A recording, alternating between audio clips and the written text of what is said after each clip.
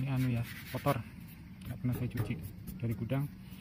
Posisinya adalah udah repaint ya. Catnya bukan cat asli.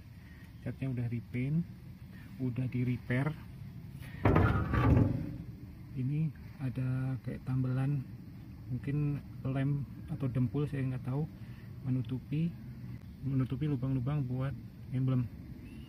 Kalau yang ini yang bawah nggak apa-apa. Nah ini untuk bagian bawah sudah di repair. Ini tadinya pakai yang model bautan udah diganti yang model ulir. Ya karena susah mungkin sering bocor. Untuk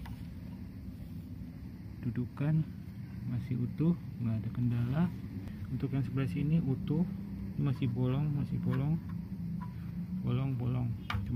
Tuh ada penambahan lubang ditambahin plat ya supaya kalau koclak di perjalanan bensin nggak tumpah-tumpah keluar. Tuh, ini udah dempulan jadi mungkin ini eh, apa eh, uratnya nggak begitu anu ya karena udah kedempul.